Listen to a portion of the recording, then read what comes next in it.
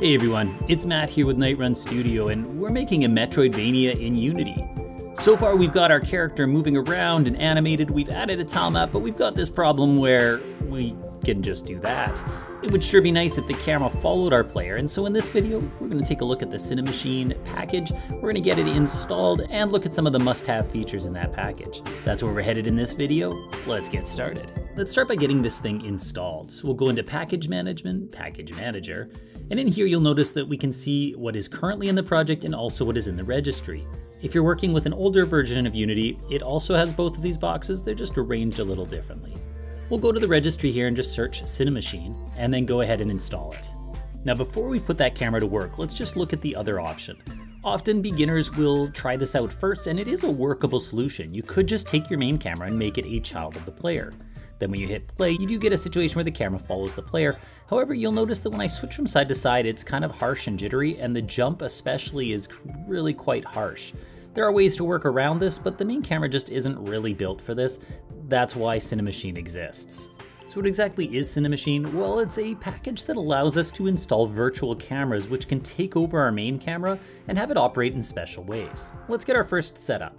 So we'll go to Cinemachine, and here there's a whole bunch to choose from. Some of them are 2D, some 3D, but we're gonna go to targeted cameras and select the 2D camera specifically. To help stay organized, I'll just move the camera up top here, and you'll notice now if we go into game view, that we can see these gizmos here showing where the camera's focused. It's in the middle of nowhere, so let's go over to this tracking target box and drag our player in there. Now the camera centers on the player, though it's really zoomed out. For this, we can use our lens size in order to zoom in to a smaller field of view or a larger one. And now when we hit play, we've already got a follow camera working, and it's actually working better than the main camera did in that it's got just a slight delay when we move, and then it also follows us smoothly, so you don't get that jerky pull every time you change direction. Now that amount of zoom made me feel just a little claustrophobic, so I'm to zoom back a bit, but now I don't particularly like the way that this is centering on the player. This is where the Cinemachine Position Composer is really helpful. You can head on down to our target tracking and change the offset, making it so the camera always stays just a little above the player, or however you want to offset it.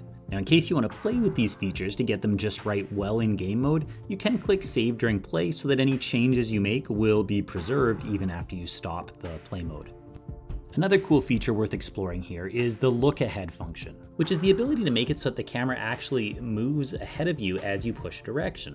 So let's set it with a really high time and low smoothing so we can see how this really functions. And you'll notice, well, that's pretty horrific. It kind of shoots way ahead of the player whenever I push a button, which gives us the ability to see incoming enemies and that sort of thing, or incoming obstacles before we get to them, which is quite helpful. That said, this is pretty extreme. The next feature I'd like to look at is the dead zone. What this does is create a box around the player, and as long as our player's focus is within that box, the camera won't move.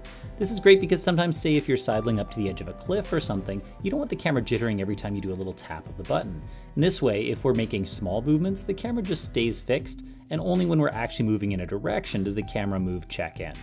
Another really important feature with the camera is the ability to confine the camera so that it's not showing off areas you don't want the player to see. For this we can use an extension on the virtual camera, and what it does is, as the name suggests, it confines the camera to a set location. So let's go ahead and set this up. Over in our hierarchy now, we're going to create an empty game object, we'll just call it confiner, and we're going to add a polygon collider on here. Make sure that you click is trigger, otherwise the collider will actually kick your camera out of the area you want it to be in, which is not the desired effect. At this point you can click Edit Collider and just kind of drag the edges of this polygon into the shape of where you want the camera to actually be able to go. Now that that's all set up, let's click on our Cinemachine camera, go to the extensions here, and then go ahead and add that confiner 2D. You'll notice that it wants to know what the bounding shape is, and this is where we'll drag our confiner into that space. Our camera now won't be able to leave there. We can then move the confiner up here where the rest of our camera stuff is, and since this is starting to get kind of busy, let's use an empty to create a new game object called camera. Make sure that its transform is zeroed out, which is just good practice. And then take all of our camera stuff and drag it under there. That way we can hide it up at the top without it taking up valuable real estate here in the hierarchy. Now when we press play, no matter where the player tries to go, he can't get the camera to go where it's not allowed, so even if I jump over in this direction, you'll notice the camera never actually leaves the area that I want the player to see. All right, that's working pretty nicely. Now, one last feature that I want to tell you about is the Pixel Perfect camera. And what this does is it controls the orthographic size of your camera so that it always displays your pixels perfectly. Now to do this, what we're gonna do is actually go to our main camera where we can add the pixel perfect camera. Here, it's gonna ask what your pixels per unit is. We're using 16 and also your reference resolution. I'm just gonna go with 1920 by 1080, which is what my game view is currently rendering in. Now at this point we can click on our Cinemachine camera and we're going to add the extension for the Cinemachine Pixel Perfect. There's no features to add here, but now it's going to make it so that our Cinemachine camera works together with the Pixel Perfect camera.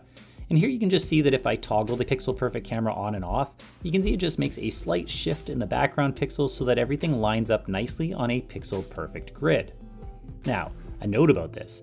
If we head up to our projection, you can see that orthographic camera is the current projection for this camera and it's locked, meaning we can't change it. That's because Pixel Perfect is designed to only work with an orthographic camera. Often in Unity games, we use a perspective camera in order to simulate a parallax effect, which is absolutely the easiest way to do that. That said, if you use a perspective camera when trying to render parallax with pixel art, you're never going to be able to get a perfectly smooth pixel perfect effect, as the pixels change size when they're further away or closer, meaning you get a jittery, noisy kind of feel. So in this project, we're actually gonna stick with the orthographic camera, and I'll show in the next video how to achieve a really nice smooth parallax effect using an orthographic camera. Anyways, that's for the next video. I hope you found this one helpful. Until next time, this is Matt with Night Run Studio. Cheers.